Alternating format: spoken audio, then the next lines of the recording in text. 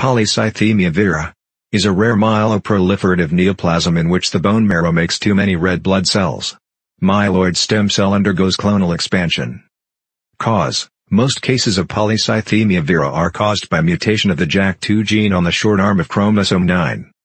Clinical findings include splenomegaly, abdominal discomfort, greater than 75%. Ruddy face, plethora, Prominence of the conjunctival and retinal vessels caused by congestion.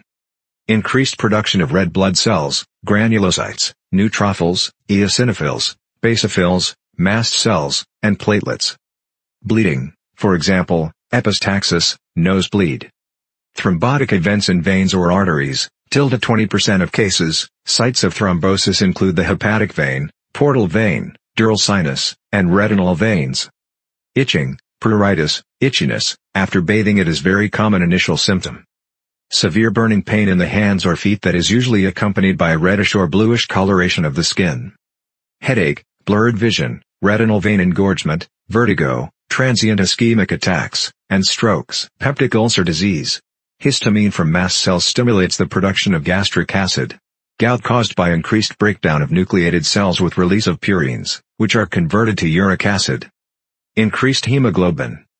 Greater than 18.5 grams slash DL in men, greater than 16.5 grams slash DL women, red blood cell count, RBC mass. Decreased serum erythropoietin because O2 content is increased. Measurement of serum EPO level is an excellent initial screen for polycythemia vera.